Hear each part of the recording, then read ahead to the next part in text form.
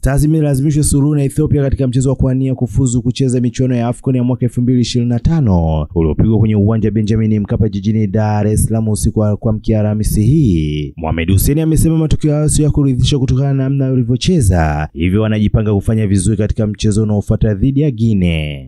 Uh, kwa, kuangalia tunaweza watu wakawadharau Ethiopia, lakini kikweli uh, wamebadilika. Kwa hiyo uh, kikubwa sisi kama wachezaji tulipokea yale maelekezo ya walimu wetu kuhakikisha kwamba tunapata alama tatu, lakini imeshindikana. Tumepata alama moja.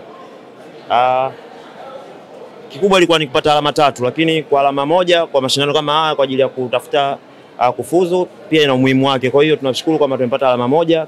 Kikubwa tunaenda kuangalia uh, mechi yetu ambayo inafuata ambayo tunaenda kuchezea Ivory Coast kuhakikisha kwamba tunapata alama tatu.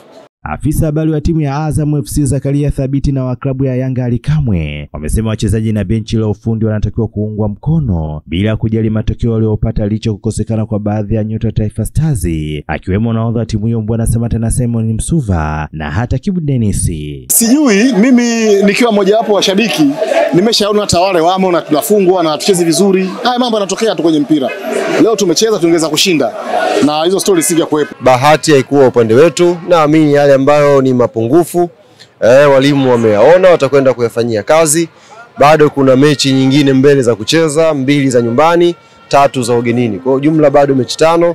Kwa hiyo bado nafasi yetu ya kufuzu kwenda AFCON 2025 iko wazi. Baadhi ya mashabiki wa soka jijini Dar es Salaam wanazungumzia hali ya mchezo huo ambao umewafanya kila mmoja kuwa na mtazamo wake. Tumepwaya kuanzia kiungo mpaka forward lines, kwa sababu tunaingia kwenye boksi, hakuna tunachokifanya.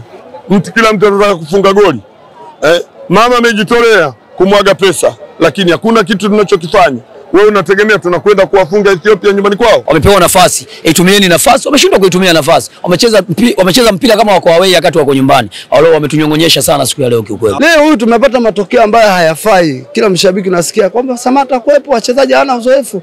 Hapana, ifike stage tukifungwa tufungwe wote, tukitoa surutu tumetoa suruhu wote. Taifa Stars mara baada ya mchezo huo itasafiri hadi nchini Ivory Coast kwenda kucheza na timu ya taifa ya Guinea katika mwendelezo wa michezo ya kundi H ya kuania kufuzu mashindano ya mataifa ya Afrika AFCON 2025 yatakayofanyika huko Morocco. Bwana Shomari, Star TV, Dar es Salaam.